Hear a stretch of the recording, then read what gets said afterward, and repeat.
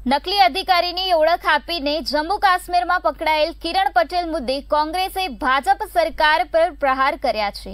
કોંગ્રેસના નેતા અર્જુન મોઢવાડિયાએ કહ્યું કે કિરણ પટેલ ભાજપનો કાર્યકર હોય તેવું લાગી રહ્યું છે અને ભાજપના નેતાઓ સાથેના સંબંધોનો તેણે દુરુપયોગ કરી સંવેદનશીલ માહિતી એકત્ર કરવાનું તેનું કાવતરું કર્યું હોય તેમ લાગી રહ્યું છે.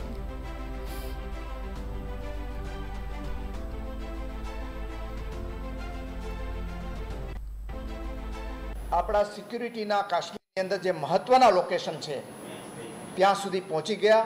આ એક પ્રકારની સિક્યુરિટી લેબ્સ નથી.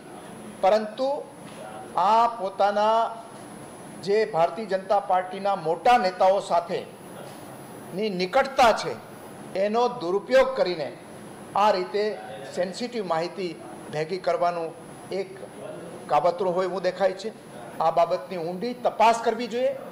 અને ભારતીય જનતા પાર્ટીએ પણ આવા લોકોને પોતાના સમર્થક તરીકે ઓળખ આપી અને એને રાજ્યાશ્રય નહીં આપવો જોઈએ.